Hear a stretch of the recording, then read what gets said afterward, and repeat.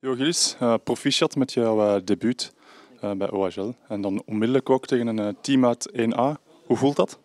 Um, ja, het voelt geweldig. Het is precies een, een droom die uitkomt. van jongs af aan heb ik altijd al gedroomd om in eerste klasse te spelen. En om dan je debuut te maken tegen eerste klasse ploeg, dat maakt dat extra speciaal. Nu, we zagen daar een doelkans die er misschien in had gemogen. Wat is daar net gebeurd?